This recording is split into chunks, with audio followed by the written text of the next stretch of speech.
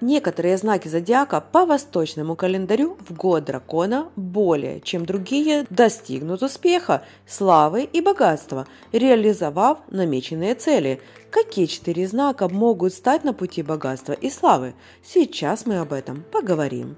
Петух – Петухи в год дракона будут улучшать свое состояние за то, что вы продемонстрировали внутреннюю настойчивость и готовы принимать новые вызовы. 2024 станет переломным.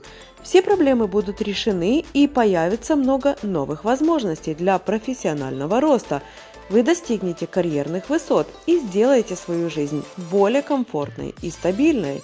Змея, в 2024 году ваше финансовое состояние существенно улучшится. Уже в начале года можно ожидать неожиданной прибыли.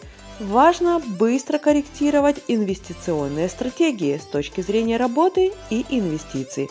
А вот творческие идеи будут способствовать реализации новых проектов. Лошадь.